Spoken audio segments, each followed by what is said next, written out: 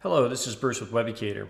In this video, I'm going to show you a solution Anatoly Mironov came up with on how to export SharePoint web parts that normally hide the option. Anatoly agreed to let us create this video showing a solution, which is available as an article on his blog at the URL shown here. My SharePoint site, I've created a web part page and I've added a pair of web parts to demonstrate the problem that Anatoly has a solution for. And on this web page, I've got a list view web parts, which you can see there in the middle, and that's this favorite cars web part, and it's just attached to a favorite cars list that I have in the site and displaying uh, the data from that list. If I scroll down, I'll just added an Excel web part just to give a contrast between the two web parts. To export the web part, all I have to do is click the little arrow that's in the upper right hand corner of the web part and you can see that I've got an option there to export. And if I click that option, it uh, saves the file into my downloads folder. If I open the folder, we can see that the web part has been saved. But switching back to the browser, if I try to do the same thing, I'll scroll up and I try to do the same thing for the list view web part, we notice that the option to export uh, isn't there.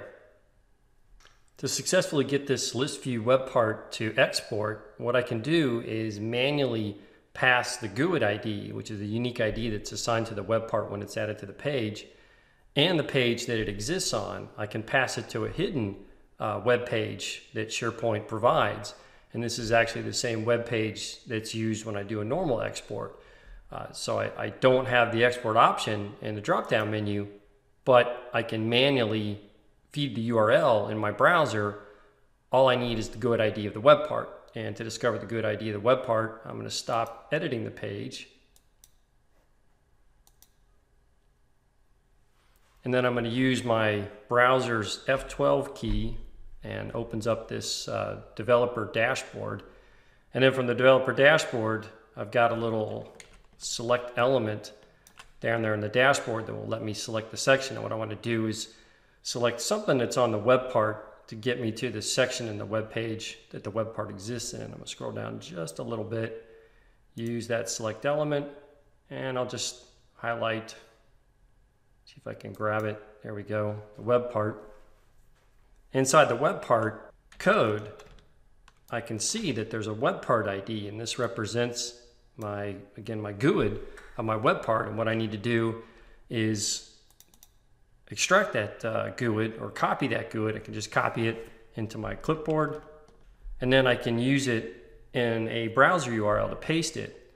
So what I'm to do now is I'm to close, press my F12 key to close my developer dashboard. And then I'm going to manually enter uh, my web part page. So I need to feed it the GUID ID and the path to my actual site or to the path to the page that the web part exists on. Uh, but the path that I need to pass it into is, I'm going to copy it from, uh, from a clipboard. I'm going to pin it to the front of this. Path I put in here, the main page that I'm after, I still need to do some editing to this URL.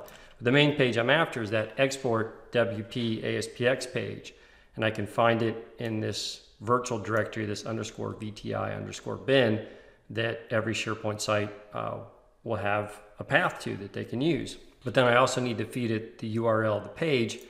So I need to add here at the end a question mark and then the page URL is the variable or is the uh, parameter that I'm going to feed that URL into. So I'll just set it equal to the path to my site. But then the GUID ID has to be appended to the end of it. So I'm going to go ahead and move my insertion point to the end of my page. And then I've already got it copied in my clipboard. I'm going to paste it on. So we can see that I've added this and GUID ID and then the GUID ID that I copied from my developer dashboard when I was editing the page. And if I got everything in there correctly, I can go ahead and hit the return key and we can see down here at the bottom that my browser has told me that it's finished downloading my web part. If I open up my folder, I can see that there it is.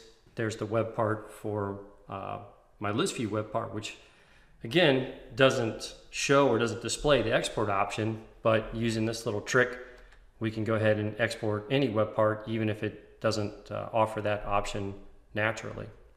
Thanks again to Anatoly Mironov for the inspiration for this video. You can find more articles by Anatoly at his blog at the address shown here. That's it for this video. I hope you enjoyed it.